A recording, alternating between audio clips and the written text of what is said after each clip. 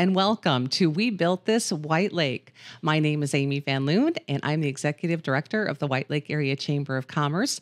And with me today is Managing Partner Brent Rath with Catchmark Technologies. Hello, Brent. Hey, it's good. Great to be here. Great to It see you. is. Well, thanks for joining us.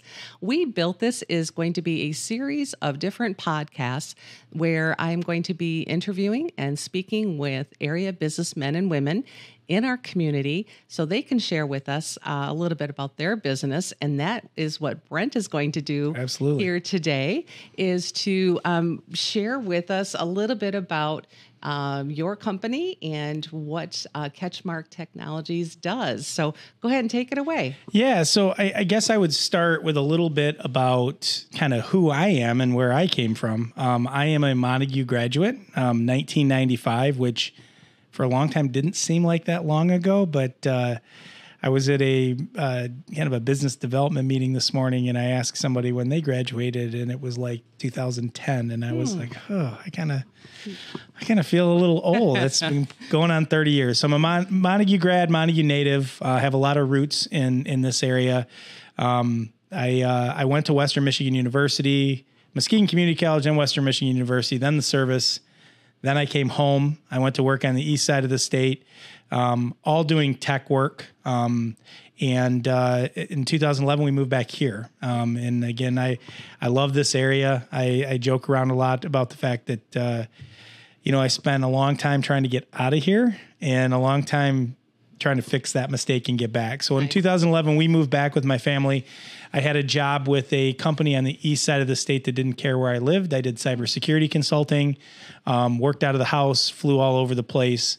Um, that that uh, business venture was good. Um, it was a really small company, like as in like four or five people there was just uh, I didn't enjoy being away from home, and my kids were getting to the age where uh, where you know they noticed a lot more when dad wasn't around, um, and so now they could care less. But uh, i'm sure that's not true. it's probably not, but um, but uh, you know, so I started uh, kind of looking for something else, and um, in you know about a year and a half, year after moving here and, and doing that job, a really good friend of mine who I went to high school with, a lifelong friend, probably my best friend in, in school, um, Chris Dawson called me, and uh, Chris worked for a company called Ag Business Solutions, and Ag Business Solutions. Uh, does back end business services for a very large dairy co-op, um, one of the second largest co-ops in the United States. Um, if you've ever had Core Power, Fairlife Milk, that's kind of kind of their they're part of that co-op, that group.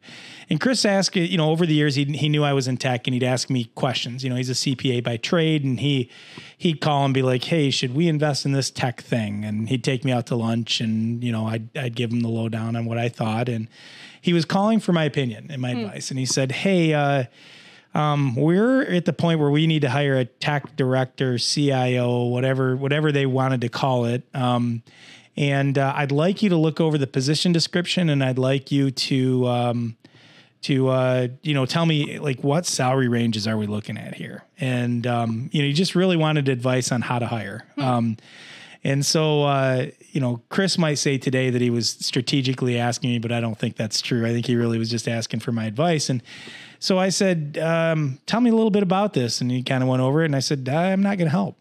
And then he's like, "Why?" And I said, "Because I'm interested." And so, um, I have to be fair to Chris. We went through the whole round of interviews. I went down and interviewed with another one of my partners at Catchmark, Rick Blau, who's the managing partner of Ag Business, and um, everything went really well. And they offered me the job, and I said, eh, I'm gonna I'm gonna stick where I'm at right now. I just I you know like there's a little bit of a salary difference and just some other things, and um, so I, I told him no, and he to this day does not let me forget it. Um, Jeff Burrell, my, our other partner, did the same thing to me when I first offered. So uh, I guess it's fair play. But uh, about a month later, I, I called Chris back and I said, "Hey, uh, I'm I made a mistake. I'm interested. I really want to see what this is all about." And I took the job with Ag Business. And so my role at Ag Business was really to do the tech stuff for the co-op. And so um, you know, uh, contracting groups, kind of like what Catchmark is now, um, to come in and provide uh, tech support for farms and associated businesses. I mean, th- their group supports you know 170 different businesses all across across the agricultural industry, um, and you know so rolling this out. I mean, we had dairy farms in Michigan, Indiana, Ohio, Wisconsin, Iowa, South Okay. Dakota, businesses all over that footprint, and trying to figure that out what I found out really quick was there's not really a lot of tech companies. The, the tech company model, the managed service provider model, does not fit really good for let's call it. Um, oh, I don't want to. I don't want need more of a needy services kind of group. And so what I mean by that is somebody that needs a little bit more personal attention. Um, managed services is set up to remote support, remote support only, and um, do is is pretty much as little work as you can to kind of get the job done. And so the the companies that I was contracting with, um, it just wasn't working. I was still getting all the phone calls, and so we took a step back and I said, "What if what if we did this ourselves? What if we other businesses of this size have to be experiencing kind of the same thing?" And um, my partners were uh, they're like, "Yeah." And uh, let's do this. And so we we started it when we started Catch Market. It was just me. Okay. Um, I was doing all of the tech support, all the business development, all the growth stuff, driving back and forth to Indiana and Ohio. And it was a pretty crazy time in my life. Um, I'm glad I'm not there anymore, but I, I definitely am uh, joyful for the experience. I learned a ton about how to run a business and what to do. And um, I just knew that that wasn't going to be sustainable if we wanted to grow. And we so quickly we hired, um, maybe about a year, year and a half later, we hired two two new guys, and uh, you know, the rest is kind of history. We we've grown significantly um, in size every couple years, um, all off word of mouth and reputation, which I'm really proud of. Um, to date, we're at about 23 employees, 14 full time, um, the rest part time. Um, two offices, one here in Whitehall, um, one in Grand Rapids. I don't do much tech work anymore. Uh, I'll be honest with you. What what my guys would consider tech work, tech work, other people might be like, "Oh, you that's still tech work," but it's I'm not a technician according to the rest of the team anymore. So. Um, and it's just been a really wild ride. When we first started, 99% of our business and our work were from that built-in group, right? So we we serviced ag business, we serviced the dairy farms, we serviced those types of things. Um, we're today, we're probably more like a 90% external, 10%, 5%, something, um, th- that internal group. So we've grown significantly outside of our own group. All, most all of those same companies are still customers of ours. Um, we're in the same building as Ag Business in in um, Walker and Grand Rapids. Um, so, you know, like uh, we still have really good relationships with a lot of those groups. We still support dairy farms. Um, we still do that, and I got to give a shout out to Curtis Holden. Um, we did a customer satisfaction survey, and um, he does most of our dairy support. One shout out for doing dairy support. It stinks. It's not a it's a dirty job. Um, even the tech piece of that. Um, every single customer that responded to that that was Curtis's customer will like send us Curtis all day. He's phenomenal. So so yeah, so that's kind of kind of where we came from. Um, I would say where we're at now, how we ended up in Whitehall, that's that's basically we're from here. So mm-hmm.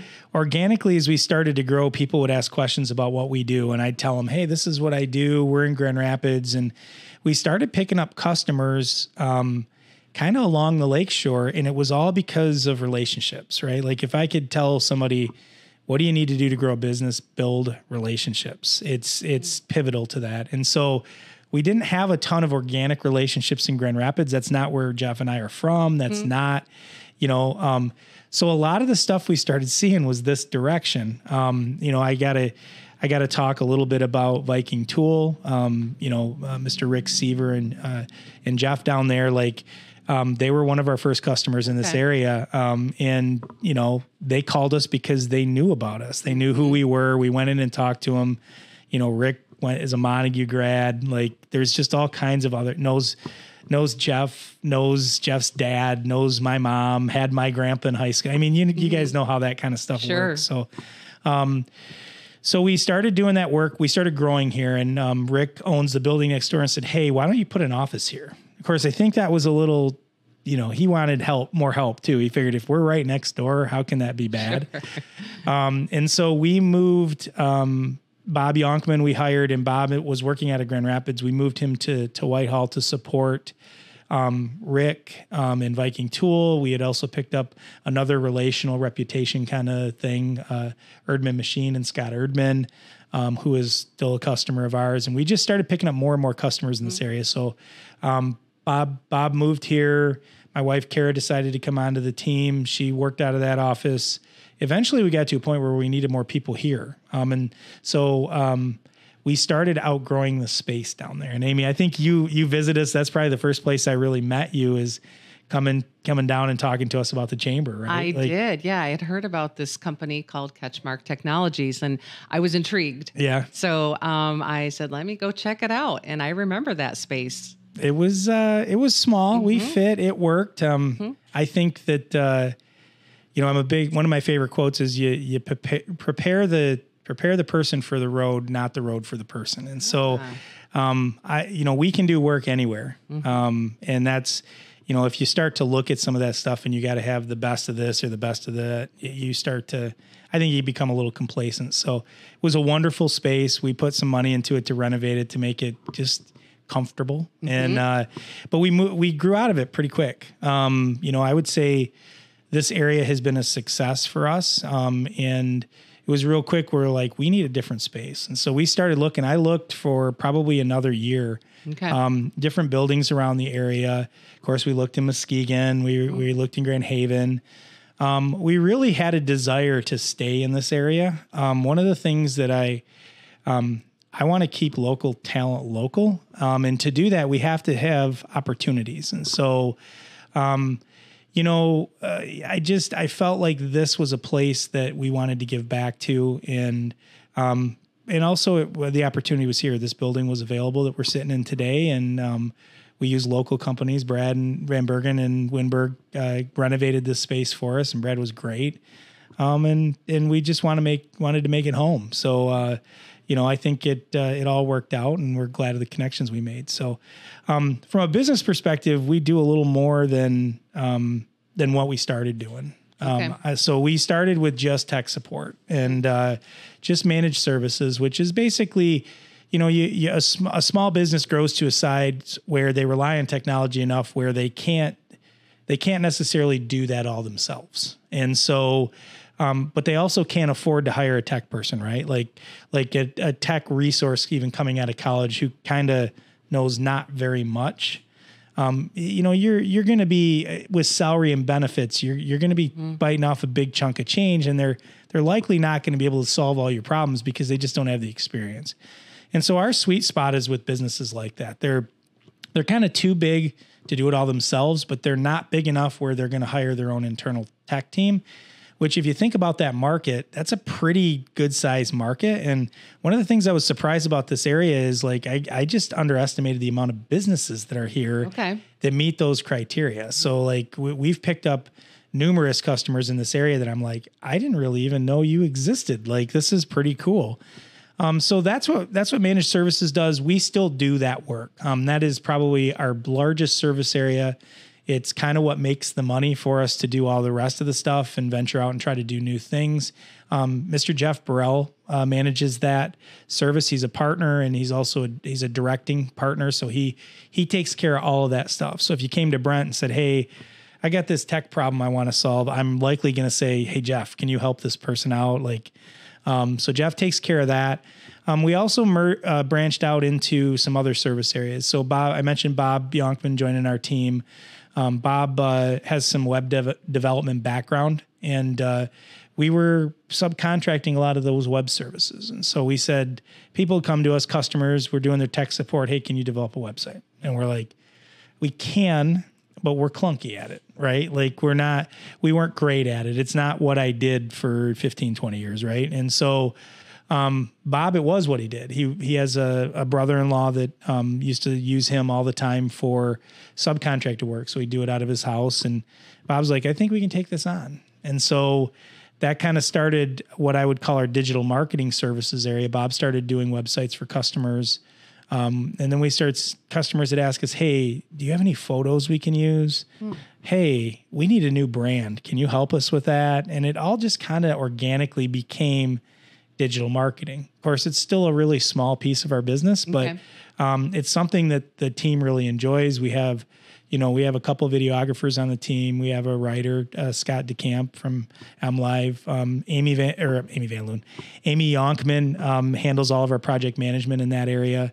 Um, and that that area kind of grew. And then we also do cybersecurity, and that's uh, a gentleman that's a Whitehall uh, native um, who kind of worked with me in different areas in my in my life and different places I worked. Um, Brian Cyberry, um, his last role was as as a CISO for the Program Executive Office Ground Combat Services, I believe, um, which is a fancy way of saying he he did cybersecurity for Army vehicles um, on the east side of the state. And I'd been bothering Brian about coming and helping us out for a long time. He joined the team about two years ago now, year and a half.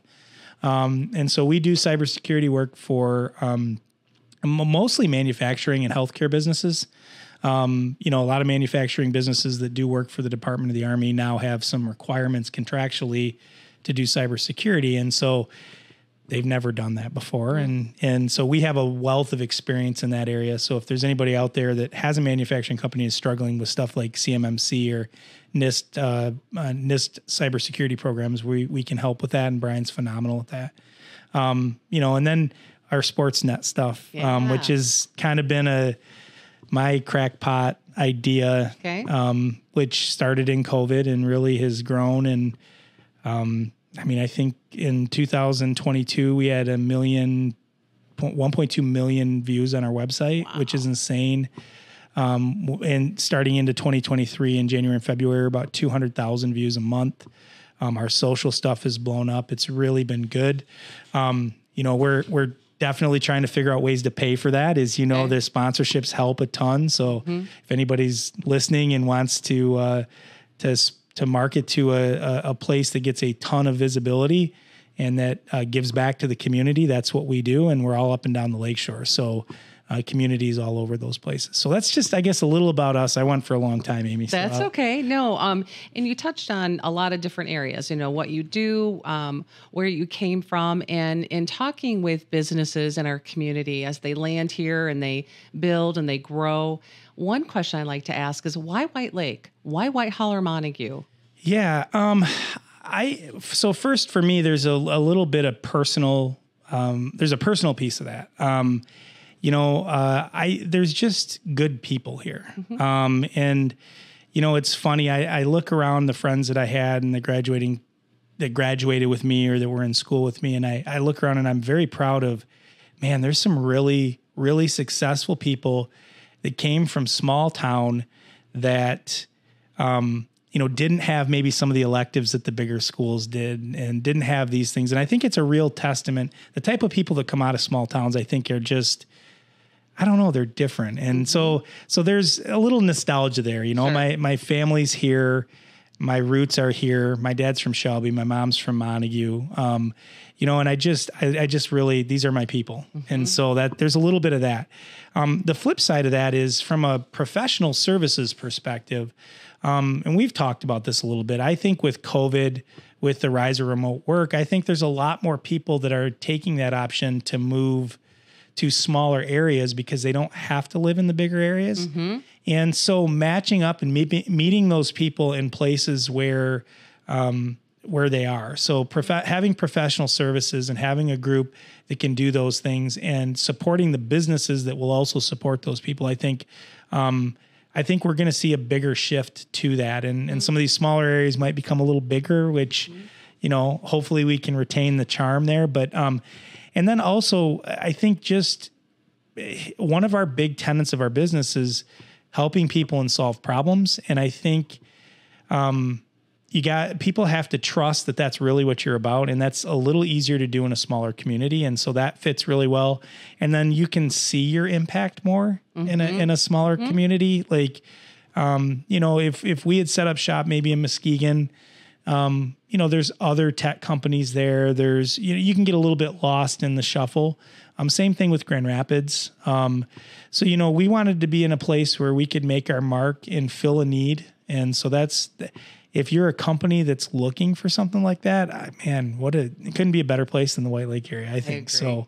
Um, so yeah, does that answer your question? It does, yeah, and then some. And, and you already touched on my next question.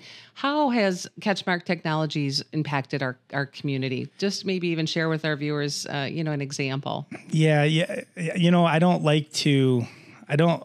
I don't like to talk about that stuff. I, am giving you permission to all brag. right. So, um, yeah. So I I think we've we try to help people and solve problems. And so any chance that we have to do that that's what we do. Our our definition of success within catchmark is not dollars. Um, we and this is across our partners right? Like um, across our leadership it's about we feel like if we help people and solve problems that the dollars will come. And and um, you know we also feel like um, I'm a, I'm a freedom guy so like I feel like people should be able to make whatever money they can and they should be able to spend that where they want to. But I'm also a responsibility guy. I feel like if you have success, you you absolutely can do what you want with that success, but I feel like there those people have a responsibility to give back. And I would never demand that they do, um, but I would say you have a responsibility to give back in what way you think is appropriate. And so that's just what we try to do. Um, you know, whether it's stuff like providing free Wi-Fi for the social district district behind our building. Um, we've helped out um, with the library lockers next door. We, you know, we hooked them into our internet and ran cabling and put a camera out there. Um, the Arts Council of White Lake, we we provide free tech provide free tech service and stream some of their concerts for them, um, knowing that they're a nonprofit and that they need help.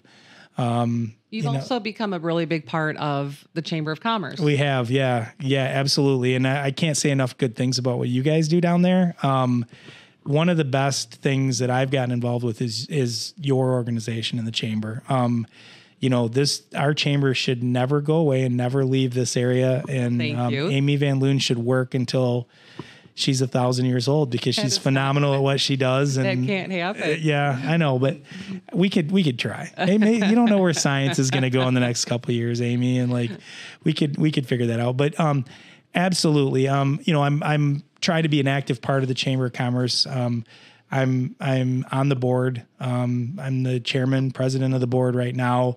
Um, I'm involved in the schools, so I've coached youth, I've coached sports. Um, you know, we have different teammates here that do the same thing. We encourage our teammates to get out and help people. We encourage them to be parts of the community. Uh, Jonah Kelly coaches soccer at Shelby. My wife's the varsity soccer coach at Montague. My oldest son, who works with us, Connor, is coaching White Lake Youth, and he's the assistant uh, golf coach at Shelby this year. Um, and then we get involved in, in other stuff too, like streaming parades and Yes. and doing you know whatever we can do to help. I guess is what we what we like to do. And um, you know, there's there's a lot of ways that probably I'm missing that my teammates help people that I don't even I don't even realize. So Sure. just being involved. Even the um, the cameras that you have, you know, on our building are Yeah. really cool. Um, if any of our viewers have ever seen the cameras on our website, Causeway cams, um, yeah. Causeway camera, they're they're a pretty cool thing, as well as the camera out at the Yeah. uh, channel. The channel, yeah, we absolutely. I'm not doing a good job of uh, highlighting some things. that No, people can go you're look doing at. great. So, um, yeah, so we support the the the camera in the White River uh, Lighthouse. We put Causeway cams up. I'm still. I was actually just talking about those this morning with somebody. Um, I'm still amazed at the traffic that those get. Is that right? It's nuts. Yeah. like what a great thing though. Like uh, provide something for the community, and then the chamber gets website traffic. We get some website traffic from it, and I'll tell you if those things go down, you hear it? I get a I get an Is email or a right? phone call in like two seconds where somebody's like, great. "Hey, we I can't see the cams," kind of thing. So Great. Yeah, the the um, camera out at the channel too with um, White Lake Association. They're Yep. the ones who, um, you know, still really uh, host or sponsor, you know, that Yes, camera. But um, with your assistance and making sure that it's working, that's awesome. yeah, no, they do a great job, and Yeah. So, yeah, we just want to help people solve problems. That's Love really what it is all about. Great. You've already touched on this also a little bit, but I'm going to um, have you just highlight maybe one example of a hurdle that you have overcome, you know, since you've you've started with Catchmark Technologies. Yeah, um I'm trying to think of one specific hurdle. I think overall um finding great people. Mm-hmm. I think that I think we have done that. I think mm-hmm. we've been very fortunate to do that.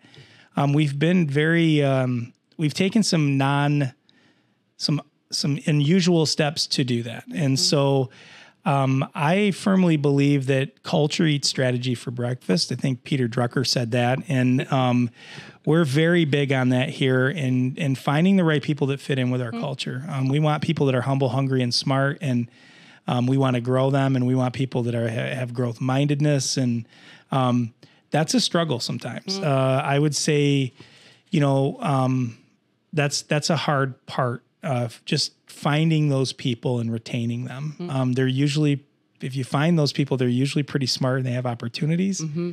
and convincing them to stay. Um, you know, I think that's probably one of the biggest hurdles we've had.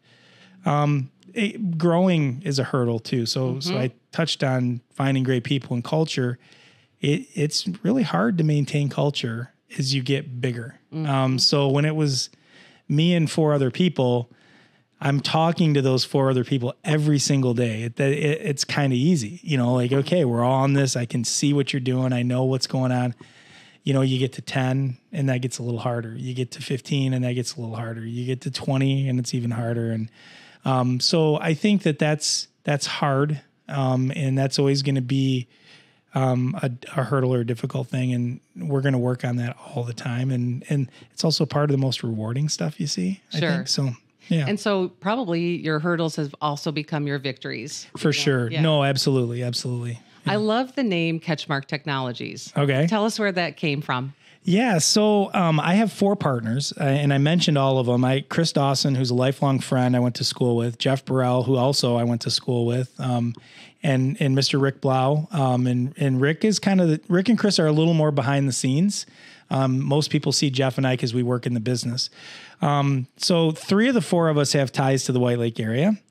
Um, the fourth one also has ties to the White Lake area, not quite as I would say ingrained ties. You know, Jeff and Chris and I all have family here still. We're all Montague grads. Um, Rick owned a place on White Lake um, for 15 years. He just sold it actually a couple years ago, maybe a year ago. Um, and and lived up here as a member at White Lake Golf Course, and he loved it here. Um, and so as we started looking at names for the business, like you, that's a hard thing, by the way, like mm-hmm. figuring that out. Um, we started looking at, okay, what do, what do we, what do we want to be? What do we want to do? How do we tie this to where we're from? And so for a lot of people that don't know this, um, well, everybody knows Montague Whitehall's a logging company sure. or co- company community. That's kind of where our roots are from. Yeah. And, uh, uh, so I, I got this weird idea. We were at the Montague Museum one day and we're walking through, and I'm like, they got all these old log marks and they call log marks catch marks. And actually, if you look up catchmark online, we come up and then there's a catchmark timber trust. Um, they're a trust for timber, and that's why because it's that's what it is. And so, um, logging companies, of which there were ten or fifteen on White Lake, would all roll their logs into the river together. And you just had this big mass mass of logs that would float down the river to the mouth of the river, which is White Lake, and then they'd have to sort them out. And the way they sorted them out was they stamped their log mark, their catch mark, mm-hmm. onto each one of them. And every log, it's kind of like a cattle brand in a sense, but every logging company had their own. And so as they get to the to the mouth of the river, they'd sort them out and they'd get to the to the sawmill and be able to be made into what they need to do. So we kind of took a play on that and said, okay, Catchmark Technologies. We feel technology is a little bit like that for for the people that we're trying to support. Um, it can be confusing. It can be kind of a mess. If you've ever walked into a, a, a network closet for a small business who's been struggling to get that working, it looks like what the mouth of the river might look like with just stuff everywhere, right? and so we uh, play on that name is we're going to help to do the same thing for technology for people. And we're going to sort it out we're going to make sure that the tools and the things that you're using can be made into something and and that something is the business. So that's that's kind of where the name came from. Not a lot of people know that. Um, we do have it on our website but I, um, I was actually really surprised with how many people in in this area don't know what a catch mark is. Okay. so but yeah you get a little history yeah a little history there so. I like it. Um, any parting message uh, for our viewers today? Yeah, I, I think I would just say give back, um, help people. Um, whatever whatever you do, whatever skill you have in life, um, use it to help people. Um, I think that uh, I, I think that I can't emphasize that too much. Um, we nobody gets to where they are where they're at by themselves, and uh, you know whether that's just coming alongside somebody and encouraging them, whether that's helping them with training, whether that's donating with a sponsorship, help someone. And then the other thing I would say is be resilient.